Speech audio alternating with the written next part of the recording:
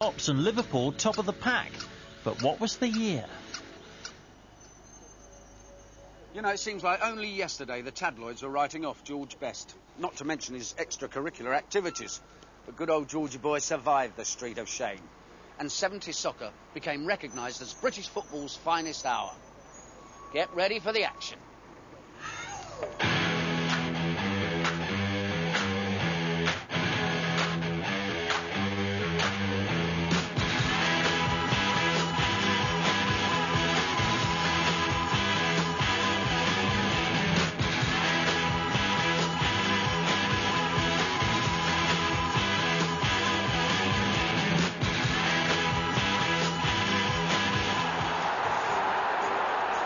By the late 70s, English football was beginning to rule the waves, with Liverpool emerging as the kings of Europe.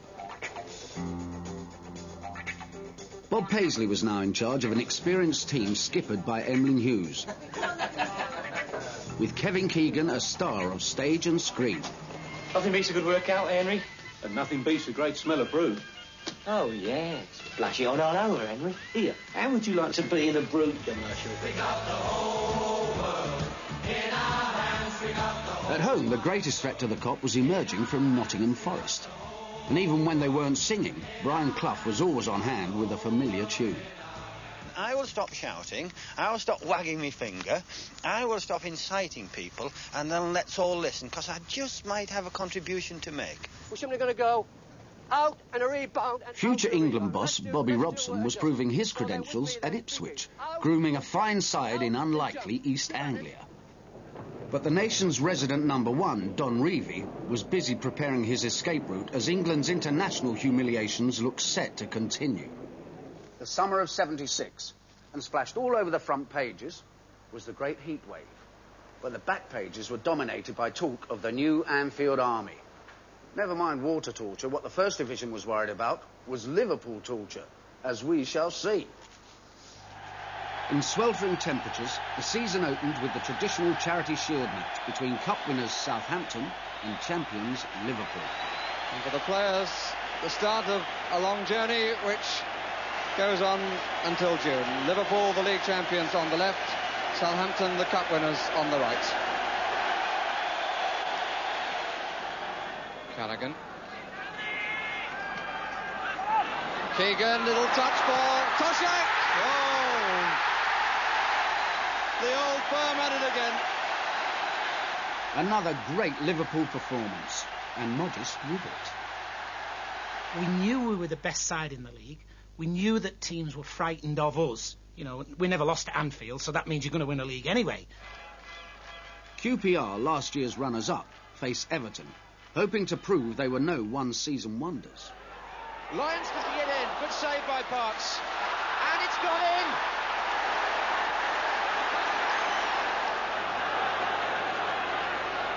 Here's Telfer. Taking on John Hollins, the pace, and beating it, and it's there by Latchford.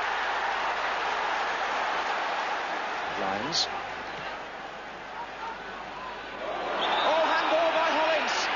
Penalty. And he makes it. McLintock couldn't reach it, and Latchford may get a break here. Could be four, and it is. Latchford second.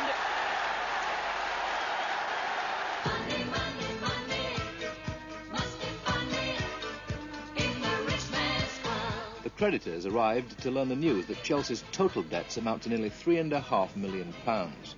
But they agreed unanimously to give the club a breathing space of 12 months to try to put their accounts in order. From now on, Chelsea will not be able to have any more credit.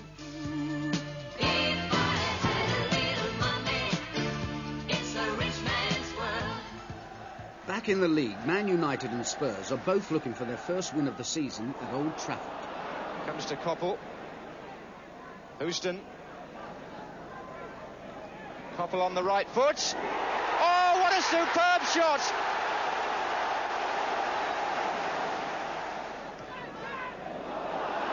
McIlroy taking on Osgood, and it's come to Coppell. Pearson, and again, Pearson.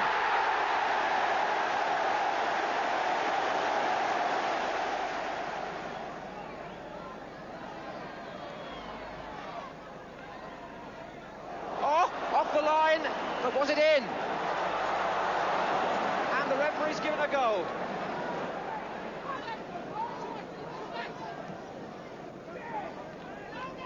Naylor. Neighbour. A fair cross and Moore's came in. And all of a sudden, it's a very different game.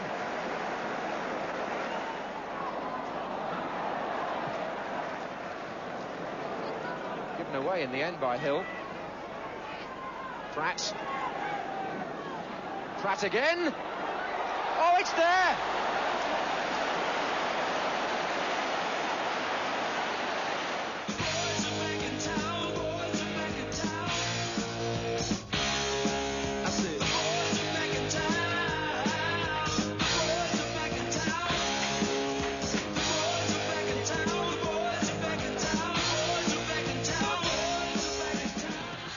Former Leeds United maestro Johnny Giles is causing a sensation at West Brom. Having led his team to promotion last season, player-manager Giles is the inspiration against Man United. Giles. Alistair Brown. And again Giles. Good try, it's worked! Oh yes! Johnny Giles! Again Giles picks out Mulligan. Alistair Brown got up, and it's there! United's unbeaten away record in grave danger. Two goals down and a corner to Albion taken to Giles. Cantello. Good try! Oh, it's there! Len Cantello! And yet again, Johnny Giles was involved. Johnston.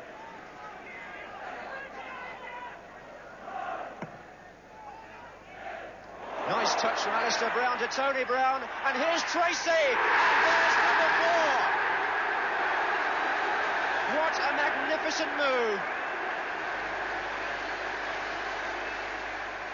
Meanwhile, Liverpool are limbering up nicely. Aston Villa, the visitors, in white. Oh, slightly backward of McDermott.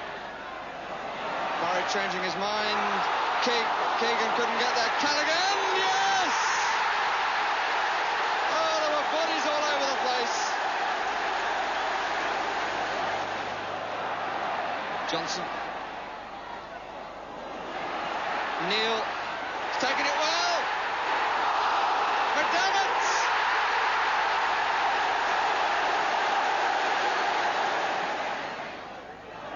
Heighway. Hughes.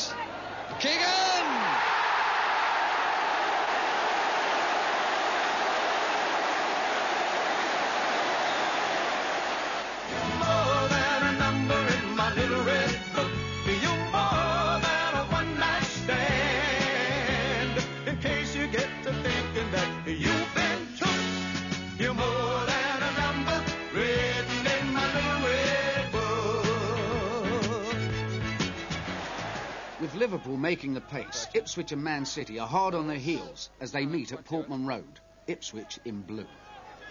Birchin. Is looking into the sun as the ball comes across. Whymark going with Doyle. And here's Whymark. And puts it in. Trusty Trevor Whymark on target again for Ipswich, with reinforcements about to arrive. Johnny come lately,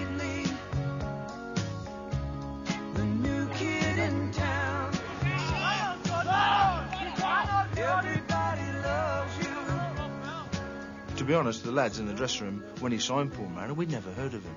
He's playing for Plymouth, and we were amazed